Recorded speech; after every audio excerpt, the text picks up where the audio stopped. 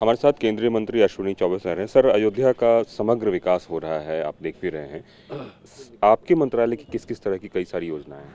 आगामी कुछ दिनों के अंदर ही बाईस जनवरी के पहले ही यहाँ लगभग पचास हज़ार करोड़ से भी ज़्यादा योजनाओं का जिसमें प्राइवेट सेक्टर भी है और आ, आ, सरकारी गैर सरकारी ऐसी योजनाओं का प्रधानमंत्री जी भव्य रूप से उसका लोकार्पण करके जनता को सुपुर्द करेंगे। पर्यावरण, वन पर्यावरण विभाग के जितने भी हमारे पदाधिकारी हैं, काफ़ी दक्षता से इन्होंने पहले से ही पेड़ लगाना शुरू किया।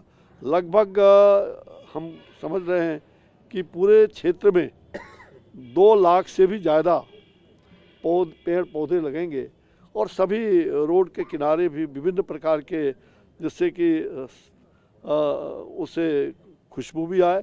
कुछ ऐसे पेड़ हो जिससे सुंदरता भी हो, सौंदर्य भी निकले अयोध्या का।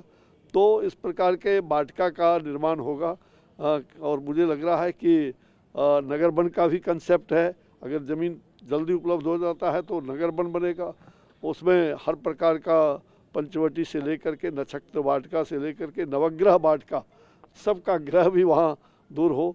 हम मान के चल सकते हैं कि पॉल्यूशन फ्री अयोध्या करने की योजना है निश्चित रूप से जो प्रधानमंत्री जी की इच्छा है उनके मार्गदर्शन में और माननीय मुख्यमंत्री जी श्री योगी आदित्यनाथ जी स्वयं इन चीज़ों को आगे बढ़ा रहे हैं तो निश्चित रूप से उत्तर प्रदेश एक उत्तम प्रदेश है और इसे सर्वोत्तम प्रदेश की ओर आगे बढ़ रहा है सर्वोत्तम प्रदेश। प्रधानमंत्री भी एक बड़ी सौगात देने जा रहे हैं रेलवे देने जा रहे हैं अयोध्या में एयरपोर्ट देने जा रहे हैं।